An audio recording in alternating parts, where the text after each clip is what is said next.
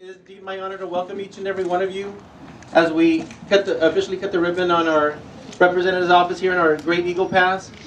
And I didn't have actually a chance to Google, but I can honestly say one that I that's very heartfelt and that I think about that uh, Poncho actually epitomizes quite well. It's one that says, and I quote, "Leaders are like eagles; they're not found in flocks, but individually." So we're very proud to have such a leader that represents us at the state level, like Poncho. He's a great leader, and he will spread his Eagle Pass wings far and wide and soar far and far and wide. So I know he's going to do a lot of good for us in Eagle on for Eagle Pass and the his entire district. But it just moves me a lot to see someone from our hometown at that state seat. You know, I'm very humbled that all of you are here. I consider each and every one of you a friend through this process and, and throughout my life. You know, as I look around, there's a lot of people here that have influenced me, that uh, have taken a part in, in my formation, if you will. And it's really good to see each and every one of you here. Uh, we've been very, very busy in the State House. I want to also recognize the Red Cross that's here from Del Rio. They're very tired. They were putting out a fire last night and, and, taking care of people who need some shelter as a result of that fire. And that's something that we need to look at, back to Austin. But, uh, and also, I want to recognize our veterans. We're doing uh, everything we can in Austin to not just honor veterans in, in deeds or in words, but in deeds. And so we appreciate your service. Thank you.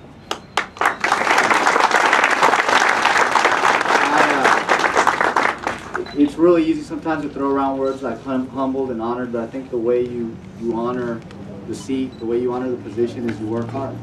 And part of working hard, it's not just me by myself up there. You know, there's a lot of you there. As you may or may not know, during the week I have to be in Austin, and part of my duty is to be on the House floor, making sure that we're watching uh, bills that are coming to the floor and taking care of the business that we have up in Austin. In about uh, 70 days, the session will be over, and we'll be back here in the community. Our district is the largest House district in the United States. If we were a state, we'd be the 38th largest state. And it's, it's unbelievable when you look at, uh, look at it on the map, but it's so. And just to kind of, since I have you all here and you're a captive audience, so to speak, I'll tell you this. Yesterday we, we had a very long day on the House floor because we were arguing the budget. And when you look at budgets and you look at some of the things that we're trying to do in this state going forward, yesterday was a very important day for all of us. And I, I'm I'm proud of the fact that we, we took a very principled stand on the budget fight. We took a very active part in the debate, and we're helping to form, to form and create legislation and budget ideas that I think will benefit not just our district, but every single Texan in the state.